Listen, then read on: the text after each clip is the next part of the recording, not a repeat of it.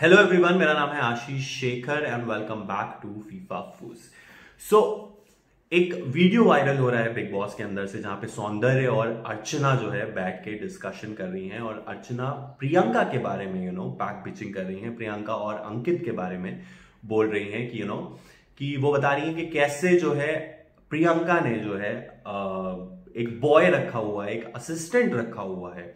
और शुरू से वो जब देख रही हैं, कहने लगी कि यू नो प्रियंका जो है, वो बहुत बड़ी स्टार है, बहुत ज़्यादा यू नो इस बड़ी स्टार है, वो अपना काम खुद नहीं कर सकती हैं। इसलिए उन्होंने अंकित को अपना बॉय रखा है और अंकित कुछ बोलते नहीं है और ऐसा कौन होता है? ऐसा कौन करता है? वो अंकित को पॉइंट आउट करते हुए सौंदर्य को बता रही हैं अर्चना कि ऐसा कौन होता है? उन्होंने साथ ही साथ यही नहीं, उनको यू नो एज ये अपना क्या बोलते हैं बॉडी शेम भी कर डाला।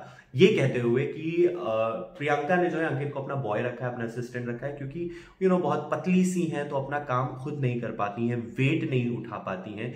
इसलिए उन्होंने अंकित को अपने साथ रखा हुआ है कि यू you नो know, ये बाल्टी उठा दो या मेरा काम कर दो या कुछ कर दो और कुछ भी जो प्रियंका कहती हैं वो जो है वो बना के ले आते हैं वो उनके लिए उठा के ले आते हैं वो उनके लिए काम करते हैं। इसलिए उन्होंने कहा कि प्रियंका बहुत बड़ी स्टार है यू you नो know, अपने पास उन्होंने एक बॉय रखा हुआ है एक असिस्टेंट रखा हुआ है। जब वो ये कॉन्वर्सेशन होती है तो सौंदर्य उनके साथ बैठी हैं और सौंदर्य कहती हैं कि यू नो ऐसा नहीं है। और अगर वो है भी ऐसा कुछ बट अंकित हमेशा स्ट्रांग है। अंकित जो है वो काफ़ी स्मार्ट है और इसलिए दोनों साथ में है। ये करते हुए लोगों ने, जो उनके फैंस हैं प्रियंका और अंकित के, उन्होंने अर्चना को पॉइंट आउट किया और कॉल आउट किया। ये कहते हुए कि बहुत अच्छा हुआ जो ये क्लिप बाहर आ गई। बहुत अच्छा हुआ कि वूट ने ये क्लिप जो है, हमें जो है शेयर कर दी, हमें बता दी।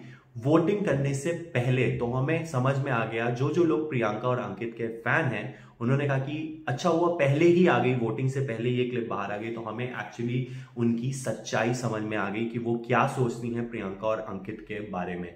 अब हम उनको सपोर्ट करना बंद कर देंगे, अब हम उनको वोट नहीं करेंगे।